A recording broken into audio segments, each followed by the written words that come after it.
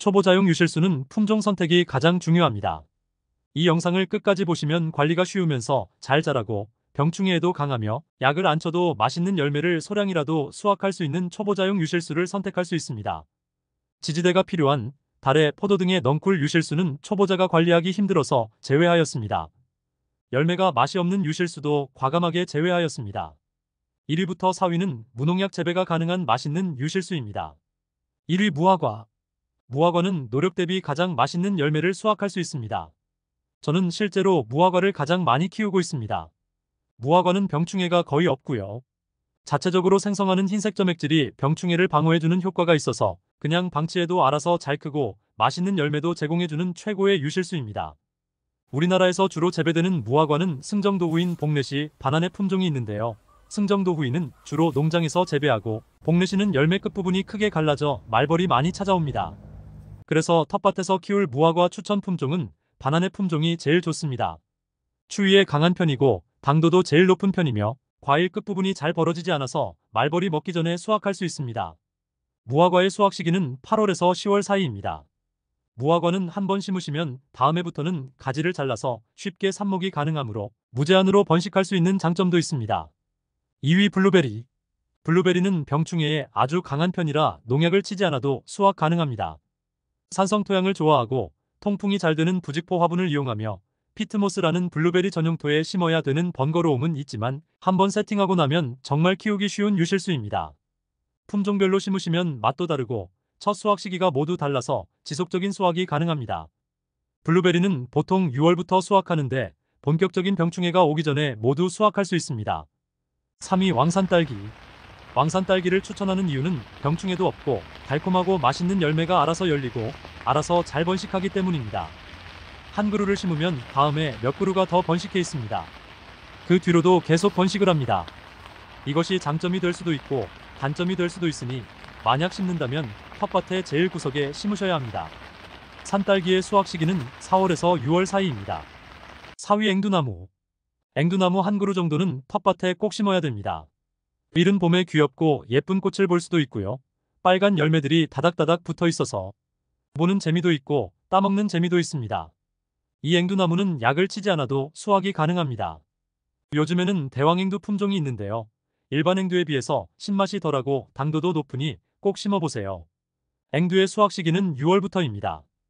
5위부터 10위는 농약이 필요하지만 농약을 안 쳐도 소량의 수확은 가능한 맛있는 유실수입니다. 5위 감나무 텃밭에서 기본 중의 기본은 감나무입니다. 저희 텃밭에 감나무가 많은데 가장 많이 식재한 감나무가 태추감나무입니다. 감나무 하면 너무 뻔한 맛이라는 생각에 별로라고 생각할 수 있습니다. 하지만 태추감은 배단감이라고도 부르는데요. 물도 많고 아삭아삭한 배의 식감에 당도도 높아서 일반 단감과는 차원이 다릅니다. 황스팜 과거 영상에서 태추단감 영상을 참고하시면 됩니다. 텃밭에 태추단감 야옥기왕 대봉감 두 가지만 식재하면 최상급 감나무는 다 식재하셨다고 보시면 되겠습니다. 감나무는 병충해에 아주 강한 편이지만 몇 번의 농약을 치셔야 정상적인 수확이 가능합니다. 주로 깍지벌레가 많은 편입니다. 태추단감의 수확 시기는 9월 중순부터이며 다른 감보다 약간 빠른 편입니다. 6위 밤나무 텃밭에 무슨 밤나무냐고 하시는 분이 있는데 한번 키워보시면 재미가 솔솔합니다. 밤나무는 대보왕밤과 왕유밤이 유명합니다. 저희 텃밭에 밤나무가 두 그루 있습니다. 식재하고 3년차부터 밤이 제대로 열리기 시작했는데 그냥 방치해도 귀여운 고슴도치 같은 밤송이가 잘 열리고 알아서 바닥으로 떨어지면서 알밤이 튀어나오므로 그냥 죽기만 하면 됩니다. 추천 품종으로는 왕유밤 품종이 있는데요. 알맹이도 크고 당도도 높고 껍질도 잘 까지는 신품종입니다. 왕유밤의 수확 시기는 9월 하순부터입니다. 7위 살구나무 살구나무를 추천하는 이유는 병충해에 강하고 빨리 수확 가능하며 맛있기 때문입니다. 한 그루만 식재할 경우 자가 수정 가능한 품종을 심으시면 됩니다.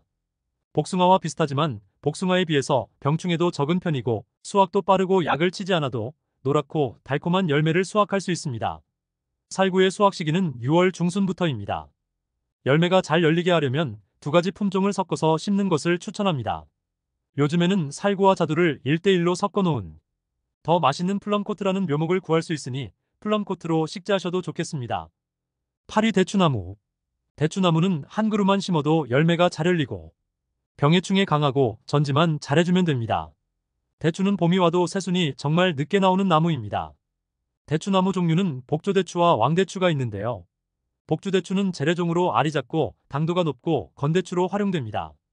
주로 요리에 많이 쓰입니다. 왕대추는 알이 크고 사과대추라고도 부릅니다. 사과대추는 거의 생과로 먹고 당도가 정말 높아서 익었을 때 생과로 드시면 정말 맛이 있습니다. 수확 시기는 9월부터입니다.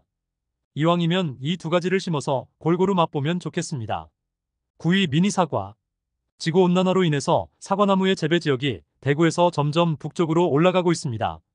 큰 사과나무는 농약을 많이 쳐야 수확이 가능하지만 미니 사과나무는 상대적으로 병충해에 강한 편이라 방치해도 어느 정도 수확이 가능합니다.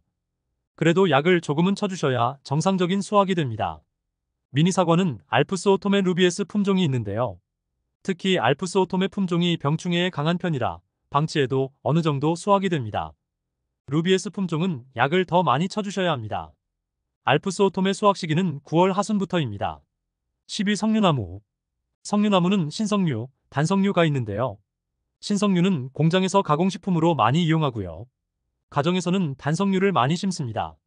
두 가지 장단점이 신석류는 추위에 강하고 단석류는 맛있는 반면 추위에 약한 편이라서 중남부 지역에 적합합니다.